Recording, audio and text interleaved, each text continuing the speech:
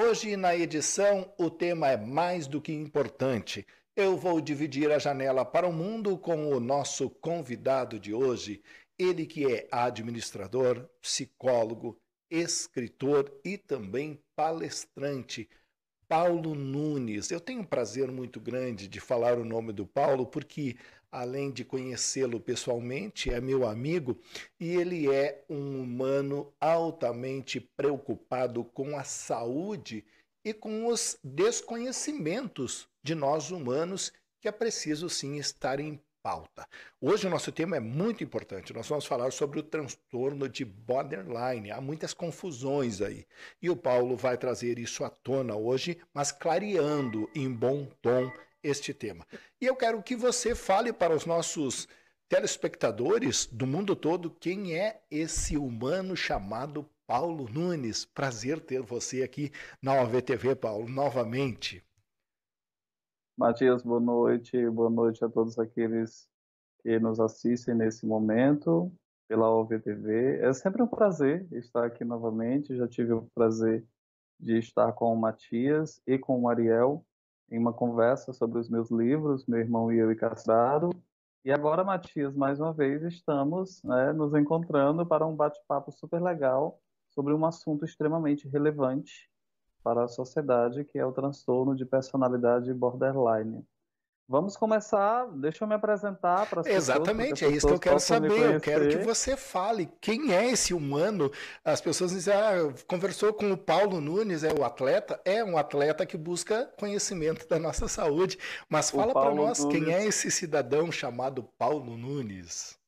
O Paulo Nunes aqui, ele não é loiro, não joga futebol e a gente tem outras atividades também. Né?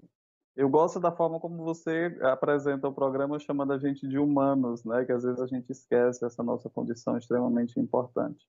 Mas para aqueles que não me conhecem, meu nome é Paulo Nunes, eu sou psicólogo, palestrante, sou administrador e também sou escritor.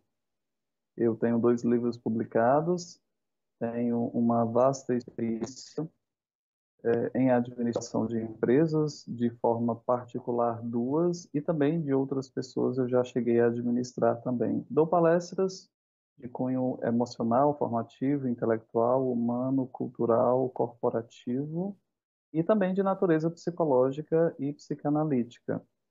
Sou psicólogo, Paulo, desculpa, mas eu preciso falar. Você é de uma localidade claro. do Brasil que eu amo, eu amo cearenses, eu tenho amizades, eu tenho humanos, né, que são cearenses, que são exemplos para mim de, de reconstrução emocional, é, de reconstrução na vida profissional, sabe? São, são, são mágicos. O, o, o cearense, ele é um humano diferenciado pela sua criatividade. Eu sempre falo que os nossos irmãos humanos cearenses, eles têm um ressurgimento quase que momentâneo na vida, estão sempre felizes, aproveitando a vida, incentivando. E você tem esse tom na pele, na sua voz, você tem um toque humano na sua voz que é maravilhoso. Eu, eu sou teu fã pelas tuas obras, mas também da maneira que você conduz as tuas palavras não é preciso agressividade para se colocar as nossas palavras para o ser humano entender, né, Paulo? E você tem isso, então eu, eu quero te parabenizar para nós iniciar essa conversa.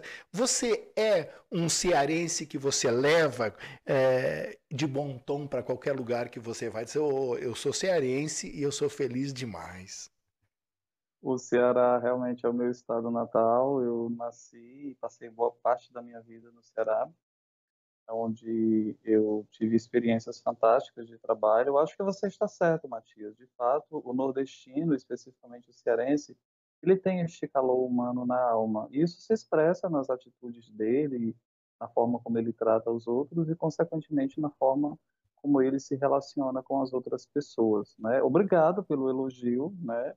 É, eu quero que você saiba que não é proposital no sentido de ser planejado. De fato, eu falo dessa forma, é, eu ajo dessa forma, e eu sou um ser humano da consciência. Né? Eu acho que se nós é, em, nos encaminharmos é, pelas veredas da consciência da coisa é muito mais fácil do que da imposição. Né? Eu sou alguém que defende a liberdade, sou alguém que defende a autonomia, a criticidade é, do ser humano.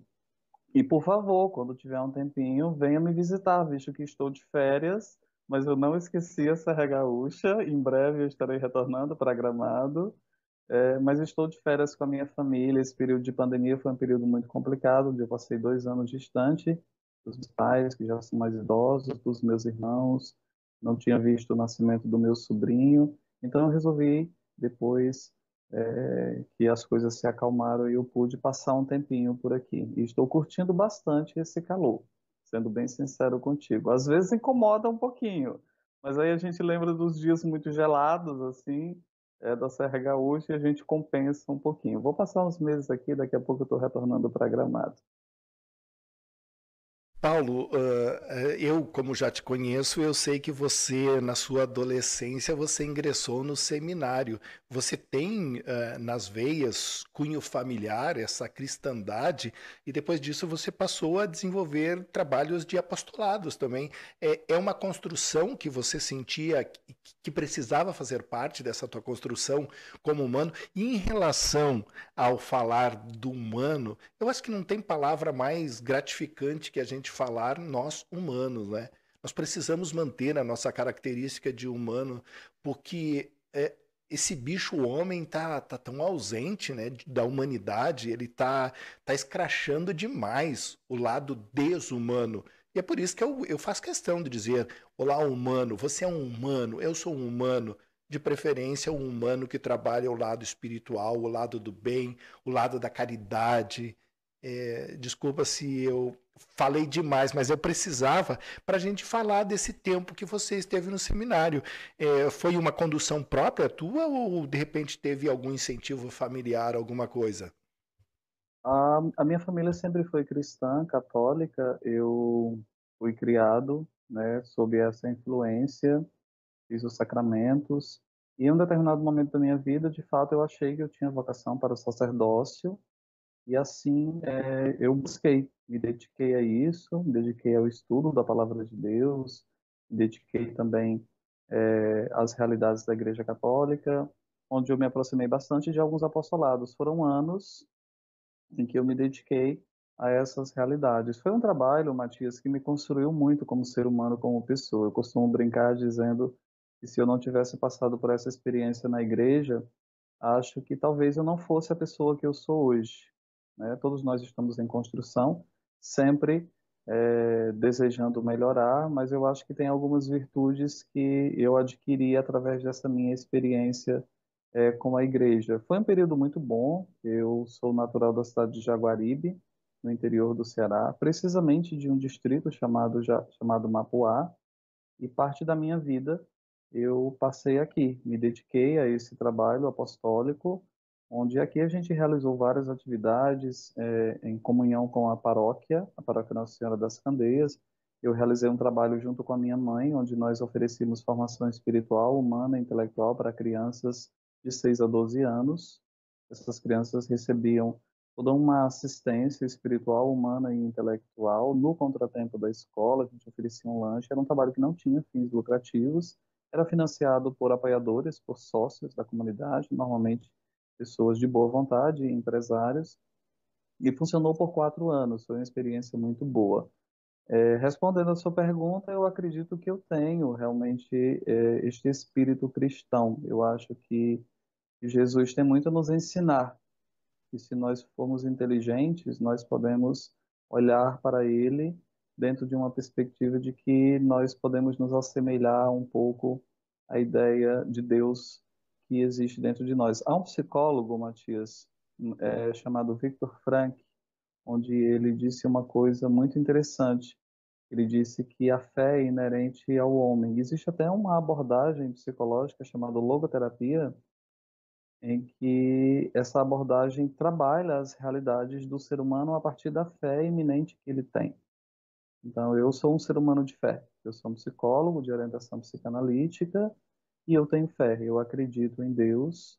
Hoje sou católico, continuo sendo católico, E eu acho que as realidades da, da cristandade, as realidades cristãs têm muito a nos ensinar. Falar um pouquinho sobre o Colégio Esplendor. Aqui eu tenho conhecimento de que você é, foi fundador e também você é, esteve na direção desse colégio. Conta um pouquinho para nós sobre essa obra, por favor. O Esplendor ele foi fundado depois que eu saí do seminário. Em 2007, eu entendi que não era a minha vocação é, ser um sacerdote, então eu realmente pedi para sair do seminário e comecei a pensar o que eu poderia fazer para levar a palavra de Deus para as pessoas, né? Eu tive uma experiência muito muito espiritual com Deus a partir de uma criança que à época tinha cinco anos e, e ele estava passando por algumas situações um pouco complicadas de abandono sentimental, físico e a minha mãe e eu começamos a cuidar dele e decidimos adotá-lo. A partir dele, nós tivemos a inspiração de ter um espaço onde crianças pudessem ter uma formação espiritual, humana e intelectual associada à formação regular da escola. A proposta do Colégio Esplendor não era ser uma escola regular de jardim, é, ensino fundamental, ensino médio. Era uma escola onde as pessoas poderiam se dedicar a aprender outras coisas que normalmente a escola regular não oferecia. E a partir disso, a gente começou a falar com pessoas na comunidade para que as pessoas pudessem financiar esse projeto, porque envolviam outros funcionários, professores, a pessoa da limpeza, segurança do prédio. Nós tivemos um apoio muito grande da paróquia Nossa Senhora das Candeias de Jaguaribe e esse projeto foi muito bom. Ele funcionou por quatro anos de idade. Eu estive à direção, estive à frente desse projeto é, com o auxílio da minha mãe e nós realizamos esse trabalho na comunidade de Jaguaribe. Logo depois, eu senti a necessidade de alçar voos para outros lugares, para cuidar da minha formação. Então, a gente resolveu encerrar esse projeto.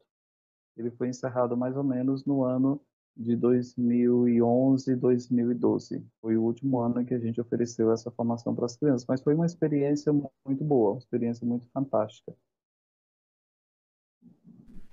Coisa boa.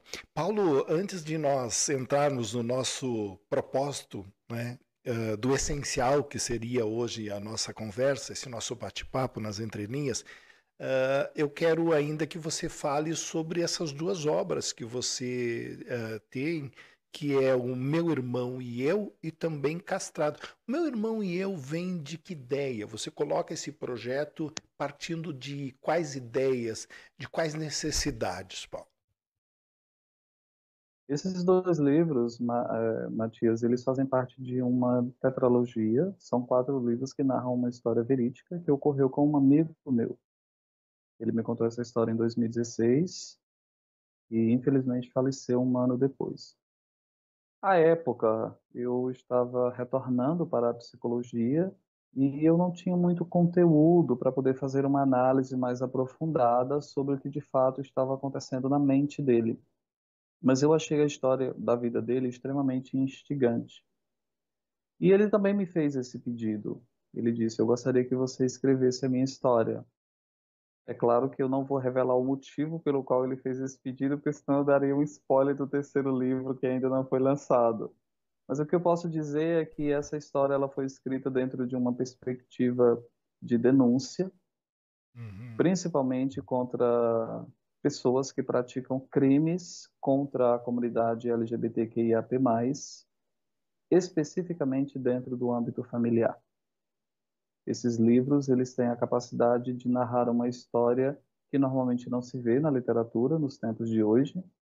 Ele tem a capacidade de revirar o leitor pelo avesso, de apresentar realidades tenebrosas, odiosas, horrendas, viscerais, orgânicas, criminosas de pessoas que sofrem é, diversos traumas, principalmente na sua infância e na adolescência.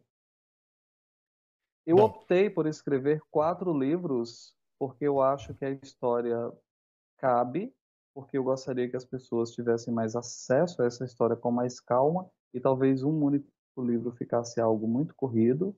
Então eu dividi a história em quatro momentos da vida dele. O primeiro momento chama-se Meu Irmão e Eu, onde a gente percebe uma dependência emocional muito grande que o protagonista da história tem do próprio irmão, que já é um desdobramento da relação que ele tinha com a própria mãe. Então a gente vê aspectos psicanalíticos ali muito quentes.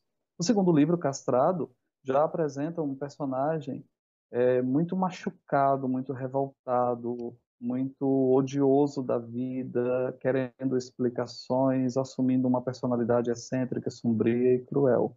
O terceiro livro, que é, está em processo de escrita, chamado Tesão e Loucura, vai externar a finalização da história e, além disso, ele vai explanar todo o segredo que construiu a história e o desenrolar mental do próprio personagem. Depois desses três livros, eu ainda vou escrever um quarto livro, intitulado Vaidade e Vômito, onde eu vou fazer uma análise psicológica e sociológica da, dos aspectos psicológicos e sociológicos narrados nos três livros. São histórias bem instigantes, é óbvio que não são recomendadas para menores de 18 anos, porque elas passeiam pelo erotismo, suspense, terror, drama, horror e thriller psicológico. Estão disponíveis em e-book e em papel. E as pessoas podem acessar através das minhas redes sociais. Todas as minhas redes sociais são escritorpn7. Eu preciso só fazer o um comentário, Matias, que eu uhum, acho importante. Fica à vontade. O primeiro, o primeiro livro, Meu Irmão e Eu, ele foi lido por 2.642 pessoas nos primeiros sete dias de publicação em e-book na Amazon. Em papel, três meses depois, Isso é ele bom. esteve disponível. E Castrado foi lido por 1.700 pessoas no, nos primeiros sete dias de publicação em e-book.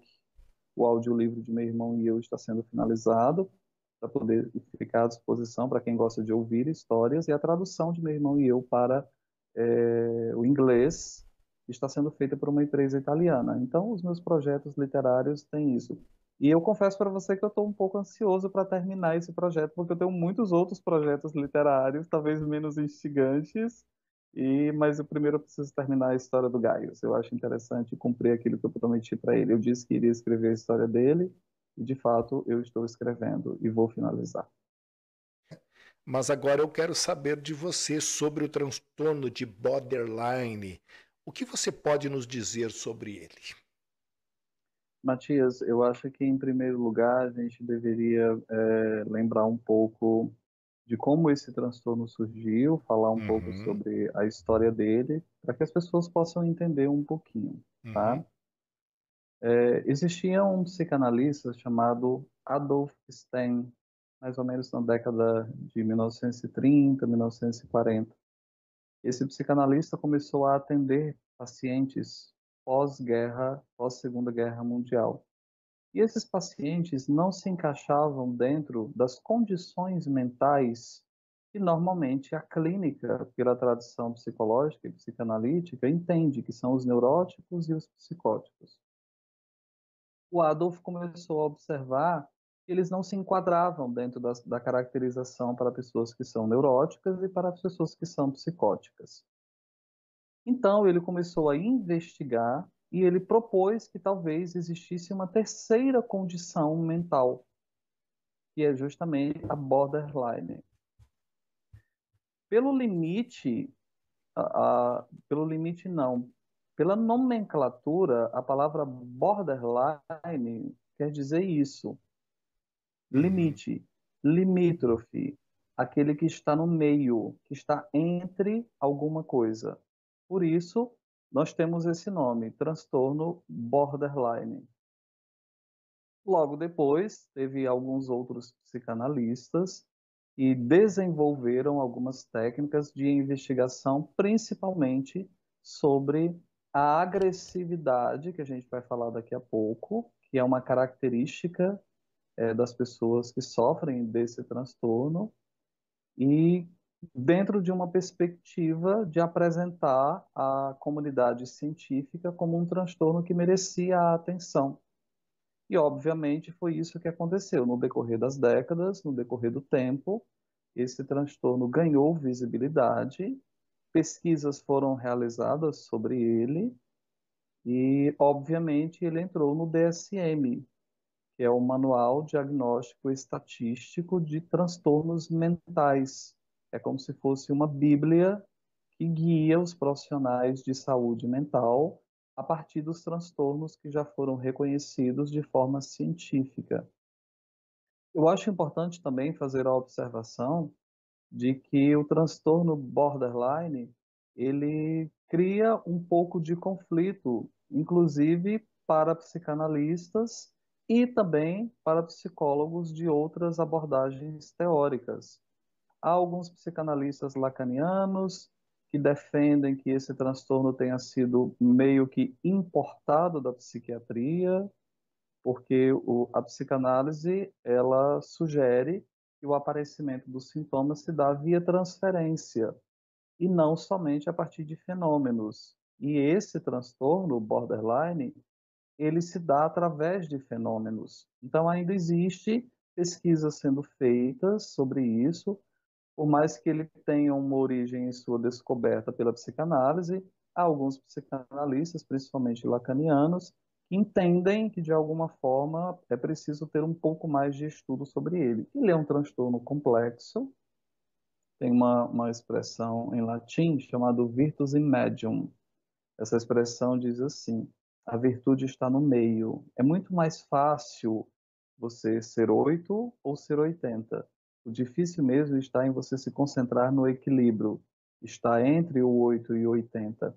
E o, o borderline, ele é essa pessoa que está no meio. Ele está entre a neurose e está entre a psicose. Leia-se neurose, um conceito desenvolvido principalmente por Freud, pela psicanálise, onde você tem ali pequenas distorções, pequenos dramas familiares, pequenos traumas, mas você consegue viver tranquilamente, você não rompe com a realidade, você consegue caminhar com as suas próprias pernas na vida, você consegue ter um pouco de autonomia.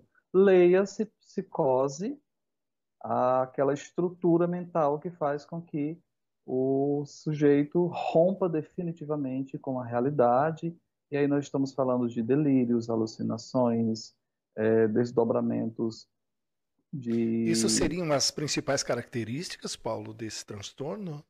Isso seriam as principais características das pessoas psicóticas. Né? O borderline ele está no meio, ou seja, ele está entre aquilo que é convencionalmente e entre muitas aspas normal e entre aquilo que é convencionalmente, e entre muitas aspas, anormal, ou seja, o transtorno borderline é um grande desafio para pesquisadores, ele é um grande desafio para quem se dedica às ciências psicológicas, porque ele é algo, inclusive, muito difícil de ser diagnosticado. Em média, Matias, aqui no Brasil, demora-se 10 anos em que um profissional possa é, diagnosticar alguém com transtorno é, de personalidade borderline.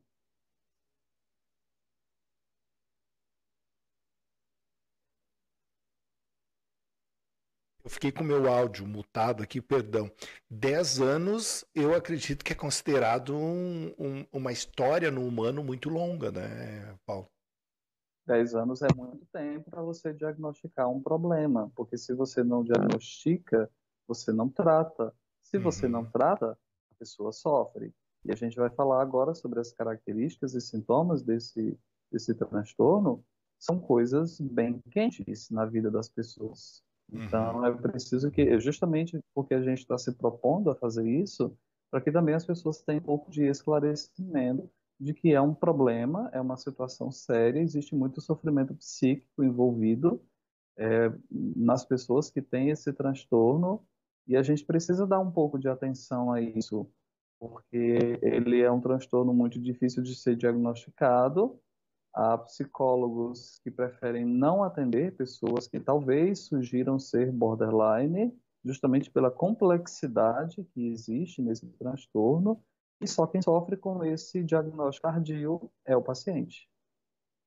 Poxa, uh, e, e, quais são os, os sintomas que o, o borderline apresenta uh, no eu, humano. Eu gostaria é... de, antes de nós falarmos sobre. Fica à vontade. Sintomas, eu acho interessante nós falarmos um pouquinho sobre as características. Ótimo. Uhum, eu até perfeito. tomei o cuidado de fazer algumas anotações, porque são, são coisas muito complexas, e eu às vezes tenho receio de passar alguma informação é, que destoe da verdade. Então eu fiz uma colinha para que a gente possa conversar um pouquinho a partir disso. Né? Olha só, as principais características desse transtorno a gente percebe, em primeiro lugar, as pessoas que sofrem desse transtorno um constante sentimento de abandono.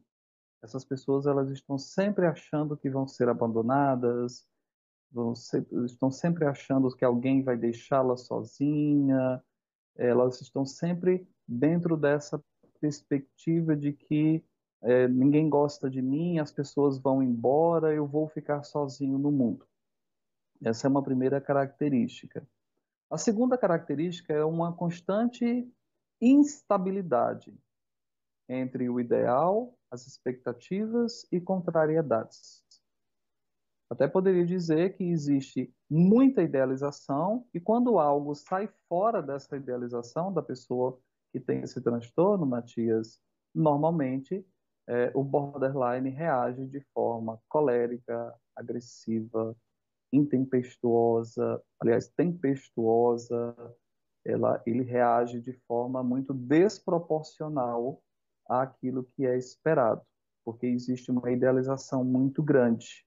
Então, uma segunda característica que eu aponto é justamente essa instabilidade entre o ideal, a expectativa e o real.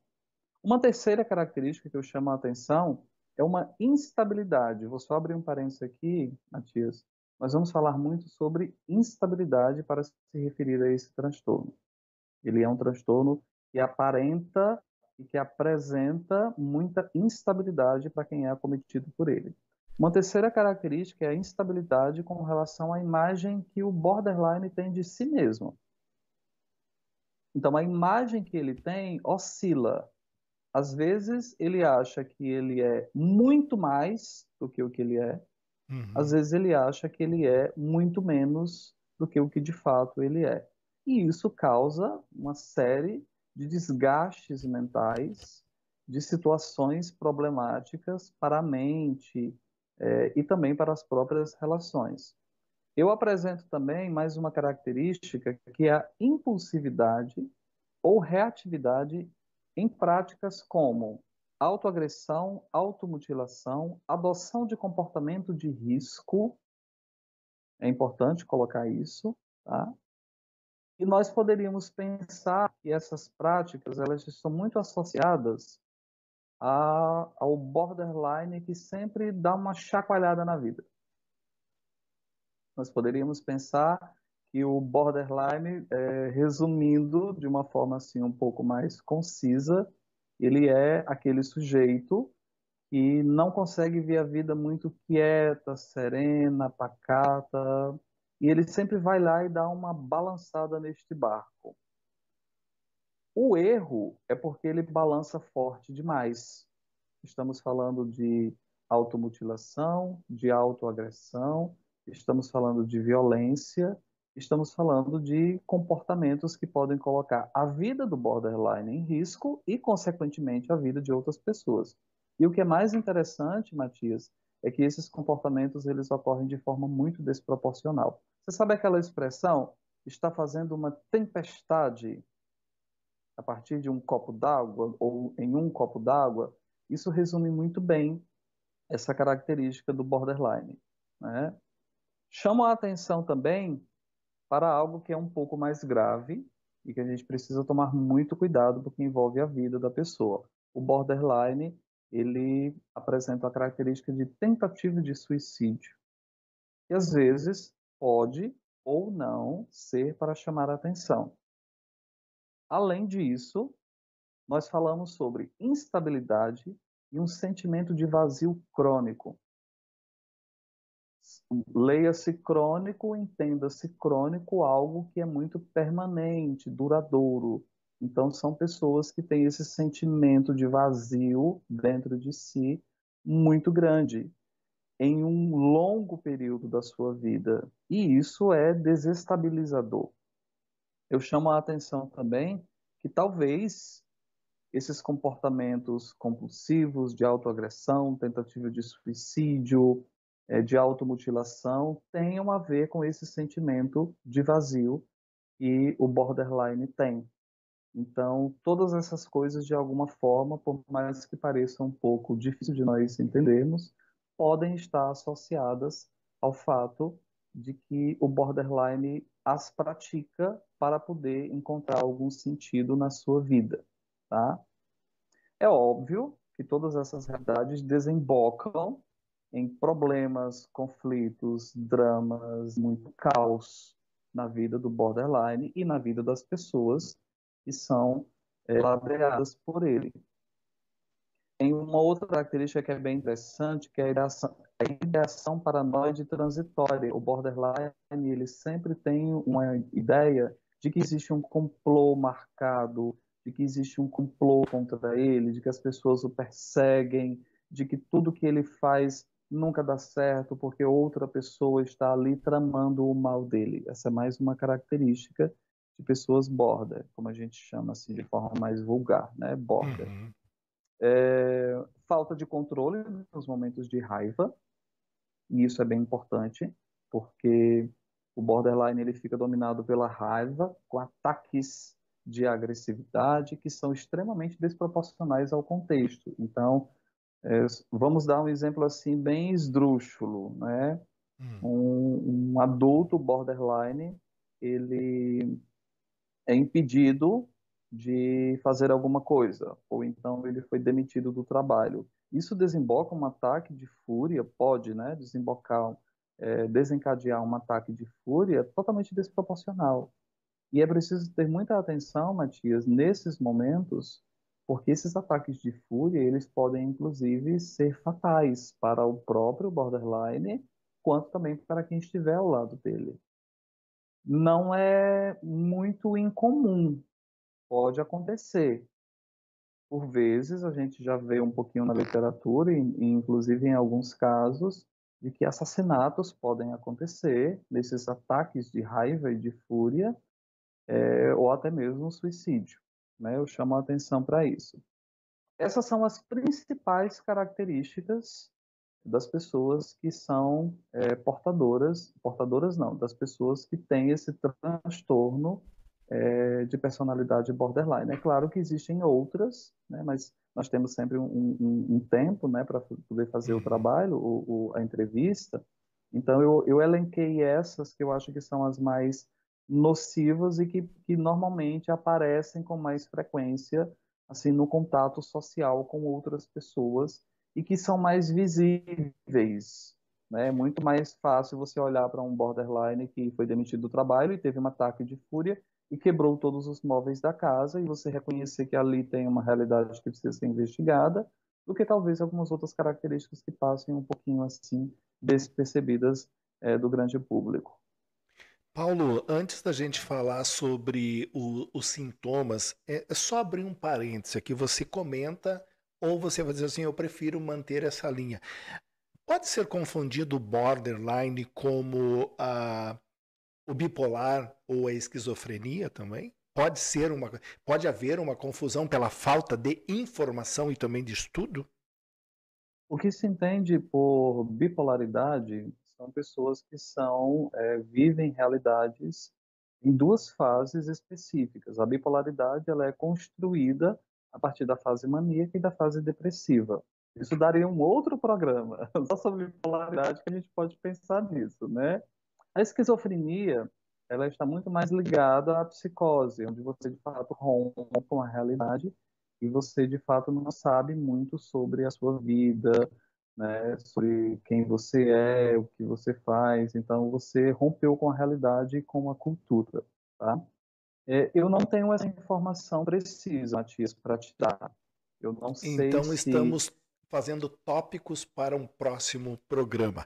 Vamos na... mas eu posso, posso inclusive, é, hum. a gente pode pesquisar, né? Óbvio, é, borderline é um assunto que me interessa, tá? Uhum.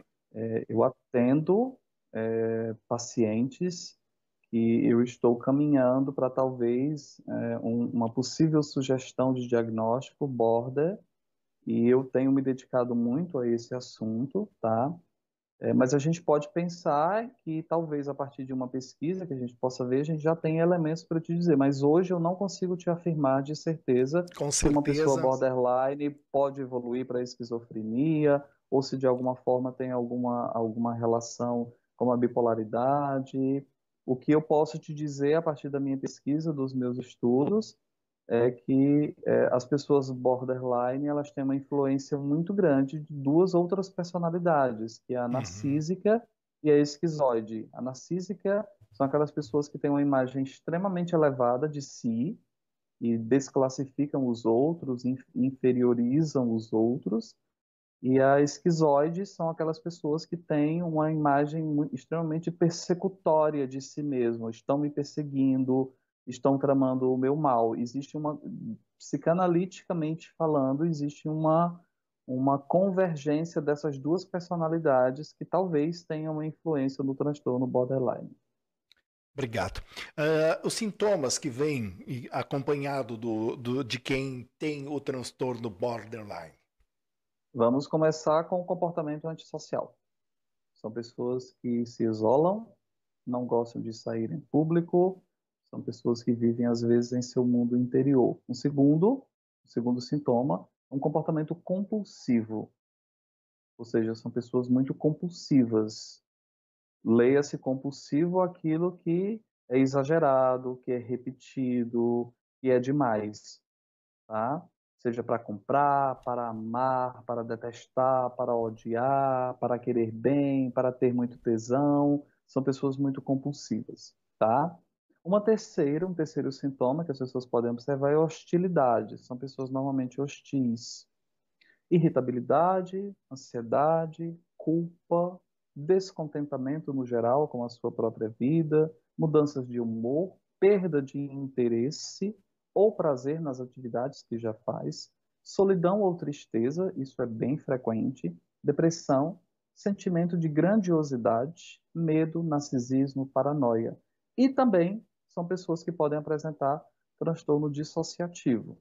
Leia-se, entenda-se transtorno dissociativo como aquele transtorno que faz com que a pessoa rompa, dissocie, entenda as coisas de forma equivocada.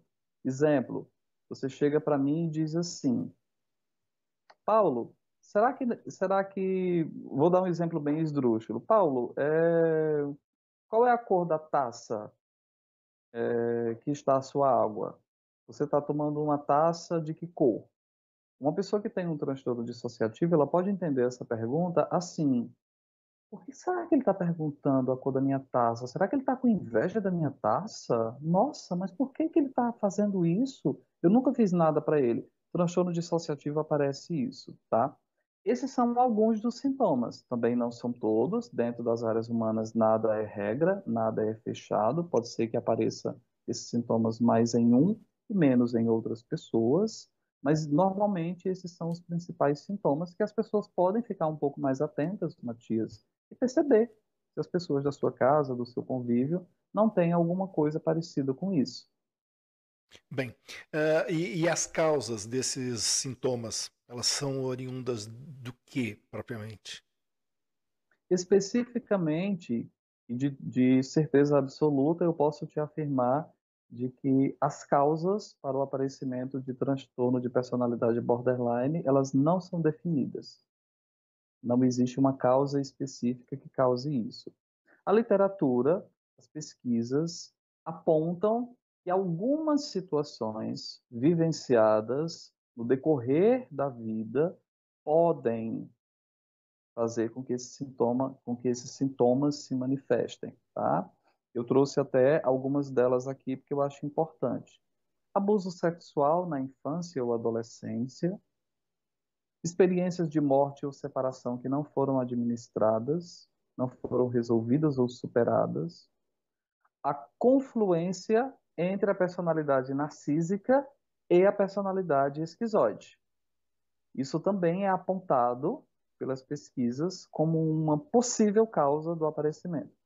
Eu chamo a atenção, Matias, de que hoje nós estamos é, em uma sociedade que se dedica muito a entender determinadas coisas. Então, existem inúmeras pesquisas sendo feitas em todo o mundo. Descobriu-se, descobriu-se é, que a genética tem uma importância muito grande no surgimento, aparecimento e evidenciamento de sintomas de alguns transtornos. Eu ainda não li nada específico sobre isso, mas nós podemos refletir à luz da filosofia que talvez seja possível que geneticamente uma pessoa possa ter predisposição ao aparecimento dos sintomas desse transtorno.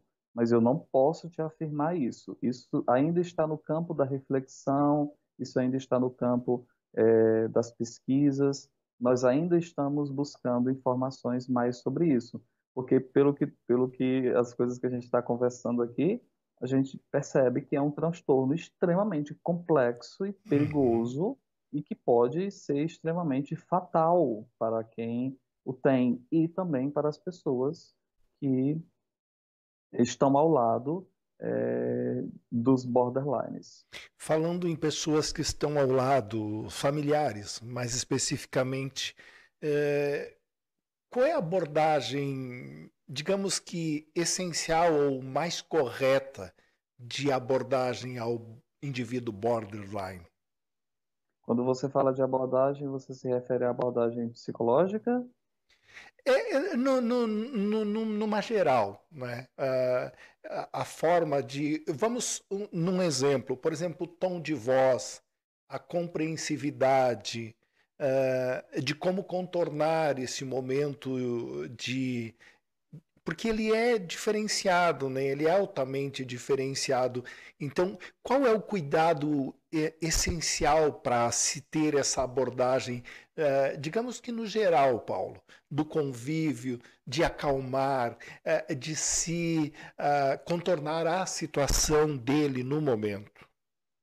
Eu poderia dizer para você que eu acho muito rica a psicologia e, as, e todas as suas abordagens embora eu particularmente tenha me identificado mais com a psicanálise, eu reconheço que existem em outras abordagens psicológicas muito conhecimento sobre diversos transtornos e essas abordagens servem muito é, aos propósitos de saúde mental de cada pessoa.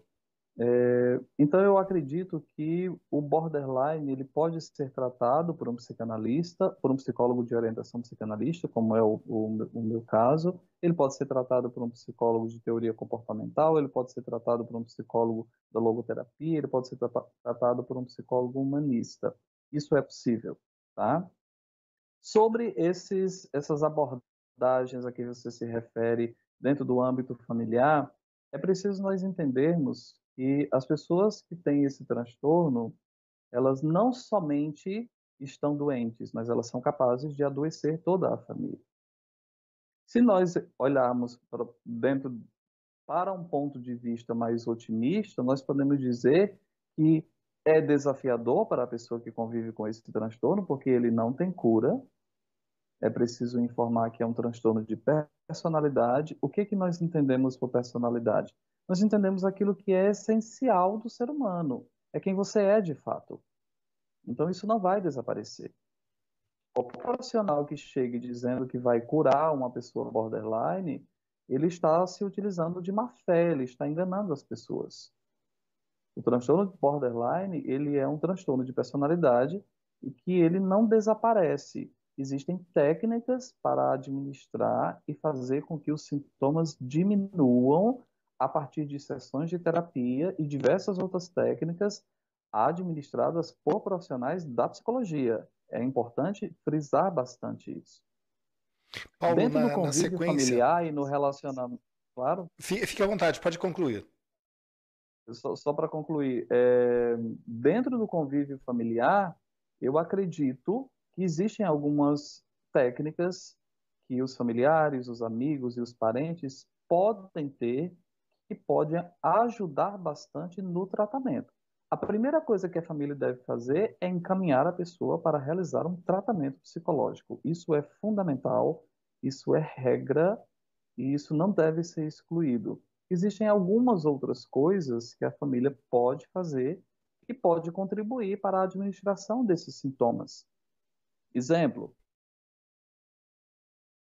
ter práticas saudáveis, como alimentar-se bem, dormir de forma satisfatória, trabalhar, estudar, todas essas realidades podem contribuir bastante para que a pessoa borderline possa administrar melhor é, esses sintomas e, de alguma forma, diminuir a intensidade disso. Né? Então, é importante muito que a família seja consciente de que não é um problema isolado da pessoa borderline. A família precisa estar presente, os amigos precisam estar presentes.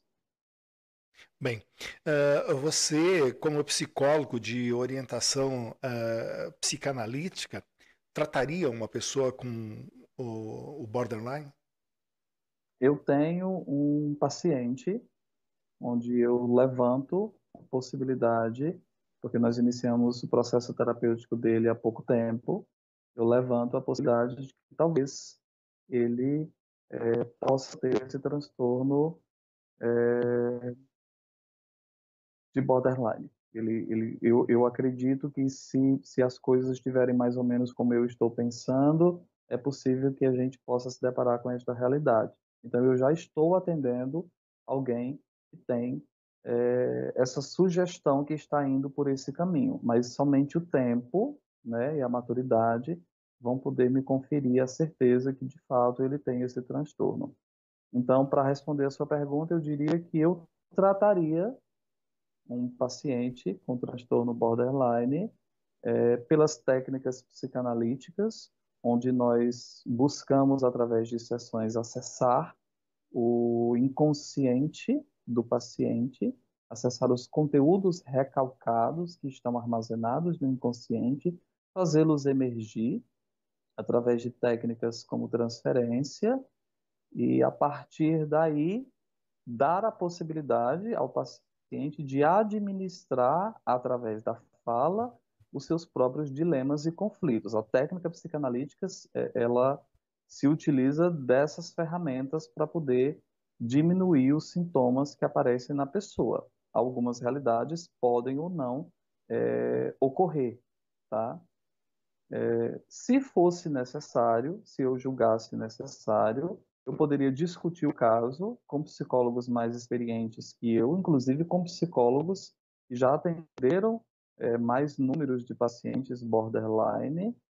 E se essa junta de psicólogos achasse interessante, eu, particularmente, como psicólogo de orientação psicanalítica, não veria problema nenhum em sugerir um acompanhamento psiquiátrico e, se o psiquiatra julgasse necessário, nós poderíamos adicionar às sessões de terapia também uma técnica muito utilizada pela psiquiatria, que é a terapia medicamentosa, ou seja, drogas e remédios que possam ajudar a diminuir alguns sintomas. De fato, a psicanálise, a, a minha linha teórica, Matias, ela não tem muito o hábito de trabalhar com terapia medicamentosa. O Freud uhum. defendia que as pessoas são capazes de se curar através da fala. Então, enquanto você fala em terapia comigo, você mesmo vai elaborando os seus conteúdos esses conteúdos vão sendo acessados e você mesmo tem capacidade de administrá-los. Uhum. Então, o papel do psicanalista ou do psicólogo de orientação psicanalista é apenas administrar de forma madura a capacidade que o próprio paciente tem através da fala, do que ele traz, do que ele transfere para o paciente, para que ele mesmo encontre soluções. É óbvio que existem, é óbvio que isso não é regra, e é óbvio que existem realidades onde nós precisamos cuidar da vida da pessoa. Se existe uma pessoa que está sob os meus cuidados terapêuticos e ele está sugerindo que vai se matar ou que vai matar uma outra pessoa ou que vai entrar em surto psicótico, eu, como um profissional de saúde, tenho o dever ético e moral de aplicar algumas técnicas que possam ajudar a diminuir um pouco esses sintomas e, consequentemente, continuar com a terapia para que ele mesmo possa alcançar os resultados. Então, eu trataria um paciente borderline como acho que tem um paciente que é borderline, através da técnica psicanalítica, e se fosse necessário, eu como psicólogo não posso receitar medicamentos, eu faria um encaminhamento para um psiquiatra e se o uhum. psiquiatra achasse interessante, ele poderia entrar com a medicação, é, com uma terapia medicamentosa. Eu preciso só fazer uma observação, Sim. inclusive uhum. dentro da comunidade psicológica e psicanalítica, há muita divergência sobre isso. Eu, eu sou filho do Flávio Gicovati. Flávio Gicovati foi um grande psicanalista brasileiro e que, no auge da sua maturidade, do seu esplendor, do vício profissional que ele tinha, ele defendia que nós não precisamos brigar entre teorias, que o que é mais importante é a saúde do nosso paciente. Então, se eu tenho uma abordagem psicanalítica e essa abordagem não me permite, ou não acredita, ou não sugere que talvez uma medicação possa resolver, eu posso muito bem fazer um encaminhamento para um outro profissional que ele pode fazer a medicação e eu posso continuar com o meu trabalho. O Flávio Giocovaci defendia que isso não é uma mistura de teorias. Isso talvez seja a congruência de técnicas que podem ser utilizadas para um fim comum. Nesse caso, seria o fim de preservar a vida da pessoa que tem o transtorno borderline e, consequentemente, preservar a sua saúde mental. Paulo, no seu entendimento, por que tem crescido o número de pessoas diagnosticadas com esse transtorno na nossa sociedade atual? É pelo maior é um estudo, maior conhecimento ou o que, que pode se falar? Isso, isso é um tema interessante. Eu gosto de pensar que talvez não tenham surgido os novos casos. É que hoje, Matias, nós temos a capacidade de nós é, visualizarmos e darmos nome aos bois a realidades que anteriormente nós não sabíamos que existiam. Nós estamos falando, é, como eu falei no início dessa entrevista, estamos falando do Adolf dos anos de 1930 e 40, que começou a desconfiar que existia uma outra condição mental que talvez não fosse a neurótica e nem a psicótica. 1930 foi praticamente ontem a nível de história. Então é muito recente. Eu gosto de pensar que o fenômeno da globalização, da, de as coisas estarem muito interligadas, de você saber aqui no Brasil o que de fato está acontecendo na China, é, de uma notícia ser algo viral, de uma forma assim meio que imediata, nos dá a possibilidade de nós sabermos o que de fato está acontecendo ao nosso lado. E que em outras épocas, em outras décadas, nós não sabíamos isso, porque nós não nos comunicávamos tanto quanto nós estamos nos comunicando. Através de uma rede social hoje, você pode conversar com alguém que está no Rio de Janeiro, em Washington, nos Estados Unidos, em Paris, na França. Abrir as janelas para o mundo. Abrindo as janelas para o mundo. Então, eu gosto de pensar que não é que os casos tenham aumentado, eu gosto de pensar que nós estamos tomando consciência de uma realidade que sempre existiu e que, de fato, isso está é, simplesmente, simplesmente ganhando mais visibilidade, porque nós temos a capacidade de, a partir da ciência, descobrirmos novas realidades no que tange a transtorno mental e também a capacidade de nos comunicarmos e aprendermos. O conhecimento está acessível hoje em dia com a tela de um celular ou de um notebook ou de um tablet. Nós somos capazes de, de aprender e, e, pesquisar sobre diversos assuntos. Que bom. Uh, para quem se interessar ou quem se interessa pelo assunto, Uh, que livros e filmes você recomendaria para um maior atendimento uh, desse transtorno?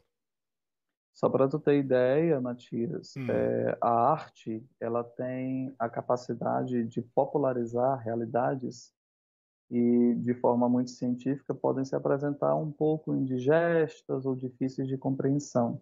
Então, para as pessoas que se interessam por esse assunto ou que até mesmo desconfiam que possam ter esse transtorno, ou conhecem alguém que de alguma forma pode é, ter algum sintoma, ou para quem simplesmente quer é, conhecer né, essa realidade, eu fiz uma listazinha de três livros e três filmes uhum. que eu uhum. acho que são bem interessantes para quem gostaria de se aprofundar um pouco mais nesse assunto. O clássico, Garota Interrompida, é um famoso filme com a Winona Ryder e com a Angelina Jolie, por sinal fantásticas as, as atuações delas nesse filme. O nome do filme chama-se Garota Interrompida. Tem um outro filme também chamado Borderline. E tem um terceiro filme que eu recomendo chamado Gia, Fama e Destruição. O nome dos três livros, dos três filmes são Borderline, Garota Interrompida e Gia, Fama e Destruição.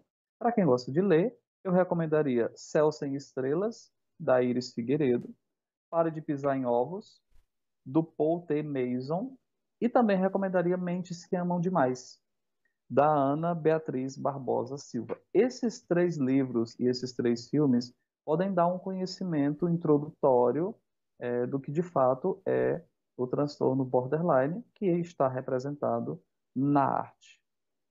Que bom. Fico feliz e eu não vou prometer aqui para os telespectadores, em frente aos telespectadores, mas eu vou procurar ver ao menos os filmes. Meu anjo, meu querido humano, anjo, porque você tem se dedicado a um assunto de extrema importância. Eu sempre falo que a discriminação, o desprezo com o humano, humano no geral, eu quando eu falo humano é com H maiúsculo, é o homem, a mulher, a criança, o adolescente, é a espécie, a raça humana.